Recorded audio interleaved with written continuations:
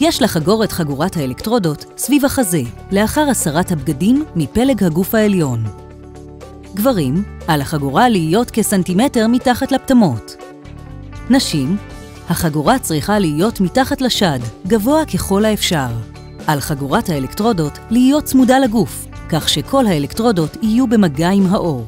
במידה והחגורה צמודה או רפויה מדי, יש להוריד את המכשיר ולהתאים את אורך הרצועה בעזרת האבזם, הממוקם על החלק האלסטי של הרצועה.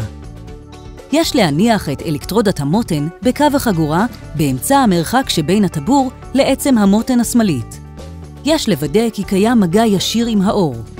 יש לוודא כי הדלקתם את מכשיר הסמארט-הארט באמצעות לחיצה על הכפתור, עד שנורית החיווי בצורת הלב תידלק.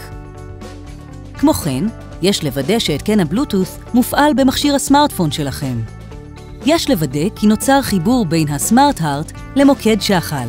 האינדיקציה לכך היא סימן V בצבע ירוק בחלקו העליון של מסך האפליקציה שבסמארטפון.